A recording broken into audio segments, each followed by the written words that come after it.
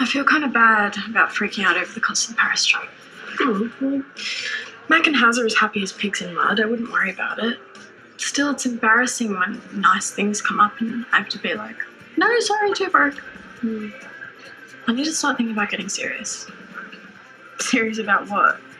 You know, life. I can't keep babysitting forever. I need a real job. Well, you're still studying. Yeah, but I'll be finishing up soon. You know, I have to start adulting at some point. You know, and some real coin. Hmm.